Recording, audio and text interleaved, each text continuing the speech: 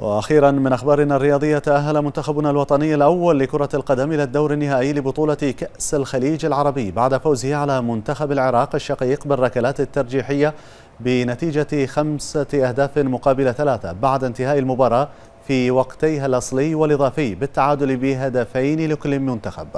وقد سجل هدف منتخبنا الأول عبد الله الهزاع في الدقيقة الرابعة عشر من الشوط الأول برأسية رائعة فيما سجل محمد مرهون الهدف الثاني بصورة احترافية مميزة في الدقيقة الأخيرة من الشوط الأول.